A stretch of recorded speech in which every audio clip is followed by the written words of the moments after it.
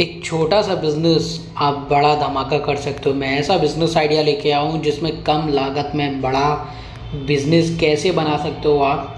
आप चाहो गाँव हो या सिटी हो, कोई भी प्लेस हो, कहीं भी हो, आप कोई भी जगह रहते हो, किसी भी लोकेशन में रहते हो, आप ये बिज़नेस कहीं से भी कर सकते हो। इसकी ज़रूरत तीन सौ पैंसठ दिन ही रहती है। आप चाहो तो हर घर में यूज़ होता है ये। सुबह से लेकर शाम तक उसी का यूज़ होता है। सुबह और जब लोग जागेंगे, जब आपका ही प्रोडक्ट यूज़ करेंगे, ऐसा प्रोडक्ट है हमारे पास।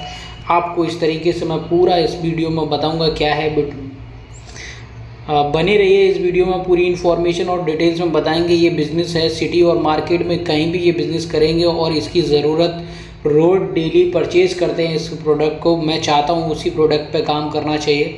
तो वो बिज़नेस आइडिया क्या रहेगा? आपको मसाला पैकिंग अलग अलग सामग्री पैकिंग कैसे करना है? ये आपको सबसे पहले आपको होलसेल मार्केट को तलाश करना है कि कहाँ पर ये माल मिलता है। आपको देखो जैसे सौंप है, मेथी है, सरसों है और बहुत सारे आइटम्स हैं, चाय की पत्ती है।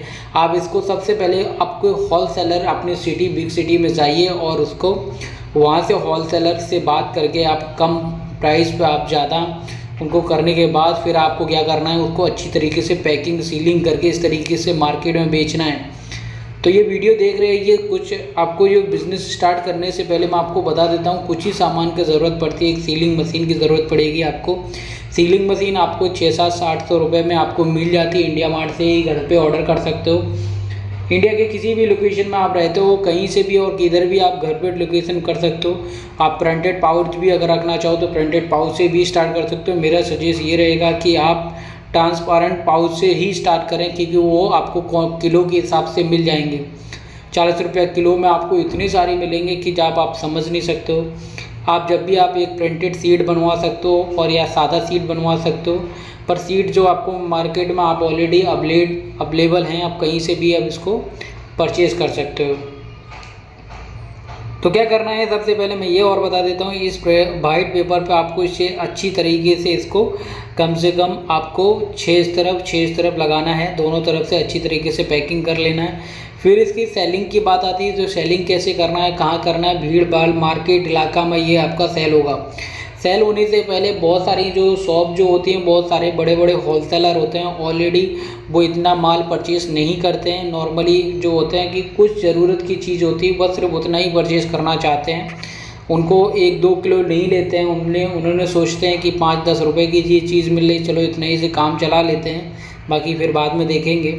तो लोग जो बड़ा सामान परचेज़ करते हैं, ज़्यादा क्वांटिटी में परचेज़ करते हैं, वो एक्चुअली होते हैं या दुकान वाले होते हैं या किसी की शादी ब्याह होता है, तभी वो इतना माल परचेज़ करते हैं होलसेल से।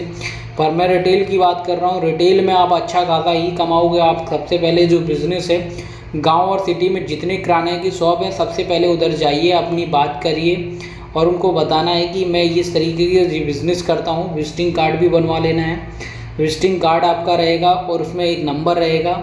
आप उनको बताना है कि ये सारे चीज़ हम प्रोडक्ट पैकिंग करते हैं और ये सारा चीज़ रहेगा इस तरीके का। उन्हें कुछ सैंपल में डेमो लेके जाना है, फिर उनसे ऑर्डर लेना है। ऑर्डर लेने के बाद उनके ऑर्डर के हिसाब से आपको कंप्लीट करना है माल। आपको जैसे देखो काली मिर्च होती है लकड़ी होती है, और बहुत सारे मसाला लकड़ी होती है और मिर्ची होती है पिसा हुआ मिर्ची होती है, खड़ी मिर्ची। आप इसमें कम से कम सौ से प्लस आइटम पैक कर सकते हो, जैसे ड्राई फ्रूट वगैरह भी होते हैं, वो भी आप पैक कर सकते हो। और किराने की शॉप जो आपको, ऐसा तो है नहीं कि सिटी में अंदर होती है, गाँव, सिटी, हर जगह। अब किराना वाला शॉप वाला ये काम करता नहीं है, ये सब कुछ अपनी शॉप चलाएगा या ये आपका पैकिंग करेगा। तो ध्यान रखते हुए मैं आपको ये बताना चाहता हूँ, पैकिंग अच्छे से करना है और आपको सीलिंग मशीन से आपको अच्छी तरीके से पैसे पैकेज करना है और आपका ये बिज़नेस देखा जाए तो नॉर्मली आपके पास अगर सिर्फ़ ओनली पंद्रह सौ रुपये हैं, आप आराम से बड़ा बिज़नेस बना सकते हो। बहुत ही ईजी बिज़नेस है ये। और ये कोई इसमें डिग्री और कोई भी चीज़ की कोई भी एजुकेशन की ज़रूरत नहीं होती है। कम बजट में ही स्टार्ट होता है ये बिज़नेस नॉर्मली आप इसमें लाइसेंस भी अगर आप जब आपका बिज़नेस बड़ा लगे कि आपका आम चलिए ठीक है, अपना नाम ब्रांड बनाना चाहते हो तो ब्रांड के साथ नाम भी आपका हो जाएगा।